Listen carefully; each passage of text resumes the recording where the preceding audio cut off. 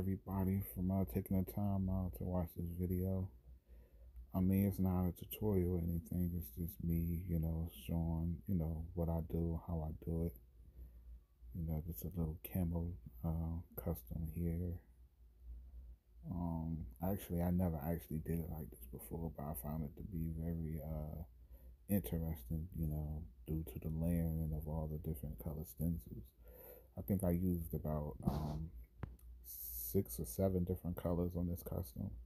But um, I do love the outcome. The customer loved the outcome. And at the end of the day, you know, that's what we do. You know, we here to create and, you know, their reactions is just always the best. Um, but yeah, I mean, if you guys like, you know, what you see, if you would like to see something different, or you know, something, I mean, uh, whatever, just let me know, like, comment, and subscribe. Thank you.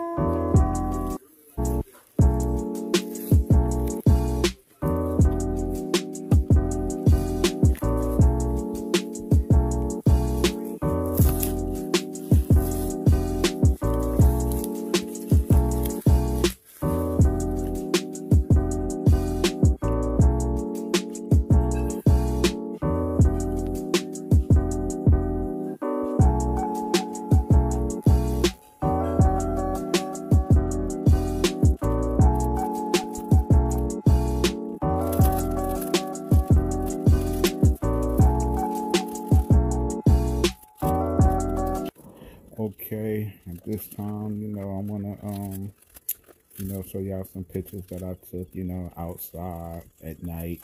Um you know just different um you know um pictures of the uh work you know. Um i hope y'all like and i'm gonna leave y'all with that. Again please like subscribe comment let your boy know. Um you know hopefully over time i get better with this youtube thing Thank you guys and have a blessed one. Peace.